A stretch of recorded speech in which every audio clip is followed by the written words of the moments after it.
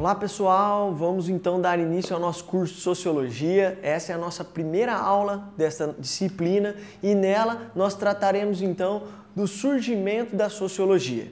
Então nós falaremos de alguns tópicos nessa aula que são interessantes para você que está então em busca aí do, de uma vaga no vestibular e que passa pela prova então de Sociologia.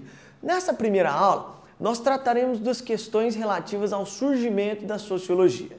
Então vamos lá. O que é a sociologia? A sociologia é uma ciência que investiga o homem e suas relações com o ambiente social em que ele está inserido. Ou seja, é uma ciência que estuda o homem e a sociedade. Então, percebam vocês que o objeto de estudo da sociologia é o indivíduo, porém nunca isolado, mas sim com suas demais relações com os demais indivíduos. E nesse sentido, como teria surgido então essa ciência? Nos vestibulares é, é muito comum é, abrir uma prova de vestibular tratando exatamente do contexto de surgimento dessa disciplina que investiga as relações sociais. Então, o contexto histórico, uh, digamos, as relações que historicamente levam ao surgimento da sociologia, elas perspassam por diversos períodos. Então vou fazer um resgate breve aqui para nós uh, entendermos como a sociologia surge e esse resgate ele vem com o desmanchar do mundo feudal. Então a partir da queda do feudalismo, uh, a relação do homem com os demais indivíduos passa por uma série de transformações, inclusive no campo do trabalho.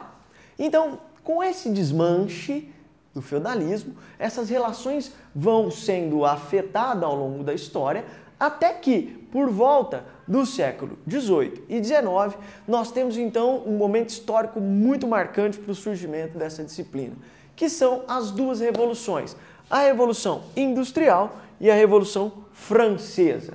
Então, essa série de transformações que vem ocorrendo nas relações humanas, elas têm um grande boom, digamos assim, tem um grande ápice com as duas revoluções do século XVIII e XIX.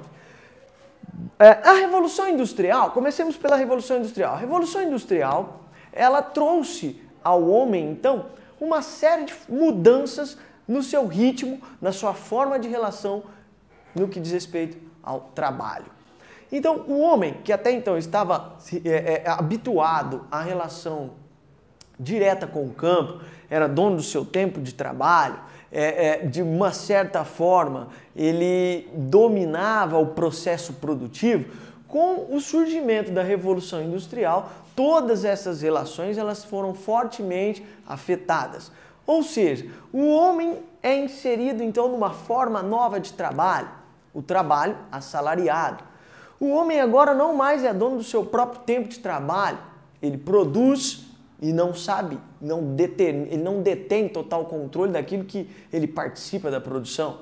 E como vocês devem lembrar, caso estejam, é, tenham assistido o Tempos Modernos do Chaplin, é, vocês perceberam que o Chaplin ele executa diversas, é, é diversas vezes um mesmo tipo de serviço. Ou seja, o homem que antes participava de diversas etapas do sistema produtivo, agora ele fica restrito a um ambiente único e executando tarefas repetitivas, o que significa que sua forma de trabalho também passou por transformações. Além disso, no campo do trabalho, ainda voltando ao exemplo do Chaplin, o, aquilo que é produzido não passa pelo controle daquele trabalhador, ou seja, ele não sabe de fato o que ele produz a quantidade que ele produz e para que que ele produz. Então percebam, como eu estava dizendo, que o trabalho foi é, intensamente modificado com a Revolução Industrial. Paralela a essa, essa, essa transformação no campo do trabalho, o que isso tem a ver com o surgimento da sociologia? Ora, na medida em que essas formas de trabalho são alteradas ao longo da história, e como eu disse, tem um grande. É, um grande ápice na industrialização, o homem então passa a ter novas formas de relações, tanto no trabalho quanto fora desse trabalho. E isso acarreta em transformações no seu cotidiano. nos seus hábitos alimentares, nos seus modos eh, de comportamento com os demais indivíduos, e isso vai gerando uma série de novas eh, eh, relações que até pouco tempo não existiam. Isso trouxe também o êxodo rural, o homem que, como nós vimos, no mundo feudal, a, com essa gradativa transformação, tinha uma intensa relação com o campo, aos poucos ele vai se desligando dessas relações com o campesinato.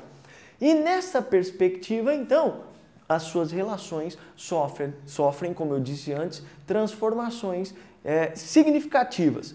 Aquelas pessoas que migram do campo para estas cidades, e nós estamos falando da Inglaterra, especificamente em grandes cidades inglesas, nesse momento, muitas destas pessoas que vieram em busca de uma nova vida nestas cidades, elas também são afetadas por essas novas formas de relações e essas relações nem sempre foram felizes. E na imensa maioria das vezes, a esmagadora maioria das vezes, elas foram infelizes. O que gera uma série de problemas no mundo urbano que até então não eram vivenciados no mundo uh, rural. Ou ainda existiam formas diferentes de relações no mundo rural que poderiam ser infelizes, tanto quanto no mundo urbano, mas elas emergem na cidade. Tais como a miséria generalizada, tais como muitas pessoas que vieram tentar a vida no trabalho industrial não se adaptaram e agora estão jogadas ao seu próprio, é, ao seu próprio, à sua própria sorte. Né? Então, voltando ao filme Tempos Modernos do Chaplin, é, em, diversos, em determinado momento no vídeo ele representa isso, uma série de pessoas fazendo greves. Então, percebam que a, a, a, é notória as grandes transformações trazidas para as relações humanas com a transformação da industrialização. Assim, paralela a essa, a essa revolução, nós temos também a Revolução Francesa. A Revolução Francesa também trouxe profundas transformações nas relações humanas. Então, quando nós falamos de Revolução Francesa, nós lembramos então da tomada da Bastilha, nós lembramos de liberdade, igualdade, fraternidade. Então, as pessoas então é, que participaram dessa revolução conquistaram direitos, lutaram por esses direitos. E essas conquistas, elas trouxeram modificações também nestas relações sociais. Ora, então esses dois eventos no contexto do século XVIII, transição para o século XIX, eles, de certa forma, marcam o surgimento da sociologia. Por quê? Porque é, são exatamente esses dois eventos que chama a atenção dos pensadores que até então dialogavam, investigavam sobre as relações sociais de um modo mais amplo dentro da filosofia.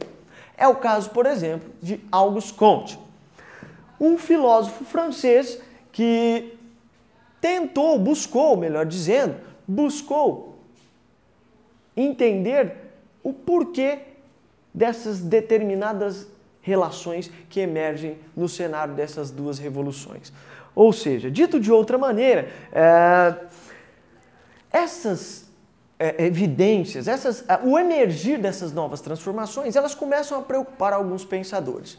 Ora, por que será que determinadas relações, por que será que determinadas ações, como a desigualdade, a miséria, a fome, longas jornadas de trabalho, enfim, começam a surgir nesse cenário? Por que será que elas existem? E entre estas pessoas, entre estes pensadores, destaque, como eu disse para Auguste Comte, que tenta investigar se é possível entender as relações sociais a partir de uma nova ciência. Comte, vejam só, Comte, embora seja um filósofo, ele ainda é visto como o primeiro dos pensadores a propor o surgimento, ou melhor dizendo, a propor uma ciência que buscasse entender as relações sociais nesse novo ambiente. Então, Comte propõe, numa linha filosófica ainda chamada positivismo, que a ciência deveria entender as relações sociais. Então, repito, Comte ainda não fala em sociologia propriamente dita, estudo da sociedade, mas Conte propõe que seria necessário a criação de uma ciência que entendesse as relações sociais, que descrevesse, interpretasse as relações sociais. Cabe aqui uma pausa. É, é recorrente nos vestibulares observarmos questões que tratam é, de problemas em relação ao surgimento da sociologia, desse cenário, desse contexto que estamos tratando aqui nessa aula, que propõem algumas alternativas que a sociologia tem o papel então de resolver os problemas da sociedade. Isto é, nunca foi o propósito de Auguste Comte. Isso nunca foi o propósito da sociologia em sua origem. A sociologia proposta por Comte, consequentemente Durkheim e outros pensadores, tem como característica principal a interpretação das relações sociais. Vejam bem, a interpretação e não a solução, mas tentar interpretá-los, descrevê-los e propor determinadas alternativas para estas relações. Então voltamos ao Comte aqui. O Comte, dentro de uma linha chamada positivismo, vamos lá, definição. O que é positivismo? Positivismo é uma corrente filosófica defendida por, por alguns pensadores do século XIX, entre eles principalmente Comte, é, em que a ciência é o caminho que deveria ser seguido pela humanidade em busca do progresso. Ora, vejam bem, só para ilustrar, durante a Idade Média, os filósofos é, medievais defendiam que Deus era a fonte explicativa das relações e de todo mundo que nos rodeava. Ou seja, Deus é o caminho a ser seguido no entendimento do mundo. O que propõem os positivistas? Os positivistas propõem que a ciência é o caminho para o progresso da humanidade. Ou seja, queira eu entender o mundo, o único caminho a ser seguido e preciso é a ciência. Assim defendeu Comte. Comte propôs então que haveria, ou melhor dizendo, deveria ser criada uma ciência que interpretasse as relações sociais. Ou seja, somente uma ciência social poderia dar então respostas aos problemas que emergem no cenário do século XVIII, emergiram, melhor dizendo, no cenário do século XVIII e emergiam ainda no cenário do século XIX. Então Comte propôs sua famosa lei dos três estados em defesa da ciência. Então vamos lá, o que propôs Comte com essa teoria? É, Conte faz um resgate histórico dos estágios do pensamento do homem. Então, no primeiro momento, ele observa que as formas mais aceitas de explicação, primeiramente, foram, como nós vimos na aula de filosofia, os mitos, ou melhor dizendo, a recorrência do homem em, a, a elementos sobrenaturais, deuses, enfim. Então, Conte chamou isso de primeiro estado, ou uma espécie de estágio do pensamento. Esse primeiro estado é o estado teológico. E nesse estado, Conte percebe que a explicação aceita pelo homem, ou buscada, é Deus. Então, portanto, no estado teológico, a fonte aceita como explicação pelo homem é Deus. Num segundo momento dessa evolução do pensamento humano, Conte percebe que o homem então inaugura uma nova forma de pensamento, a razão. E, portanto, esse segundo estado é o estado metafísico, que, como nós vimos lá na filosofia, meta, além do que é físico. Portanto, a razão não é física, mas a razão passa a ser aceita então como fonte interpretativa e explicativa das relações que rodeiam o universo do homem. Então, portanto, esse estado metafísico tem como característica a explicação por meio da razão. E aí que está a grande proposta de Comte. Comte então defendeu que a ciência seria a superação desses estados anteriores. Para Comte, seria possível então o homem alcançar uma forma de explicação do seu entorno, inclusive de suas relações sociais, através da ciência e que, para este pensador, a ciência significaria a superação dos estágios anteriores do pensamento humano. Portanto, a defesa intensa feita por Comte dentro do positivismo é que a ciência deveria então ser o caminho a ser seguido nas interpretações e nas explicações do mundo e das relações desse homem moderno do século XVIII e XIX. Portanto, o terceiro estado, chamado de estado positivo ou científico, tem como característica a defesa à ciência. Então, a fonte aceita é a ciência. Dessa forma, Comte defendeu aquilo que ficou conhecido mais tarde como física social. Digamos que seja um nome primitivo do que hoje chamamos de sociologia ou seja, uma forma de interpretação da sociedade através de um pensamento ou através de uma característica inovadora que é a ciência nas investigações. Assim, pessoal, nós encerramos então a nossa primeira aula de sociologia, em que tratamos de algumas características básicas dessa nova área do conhecimento moderno e que verificamos então qual foi o seu cenário, sua origem, quais as características que deram origem a esse tipo de pensamento. Então vamos para os nossos exercícios dessa aula.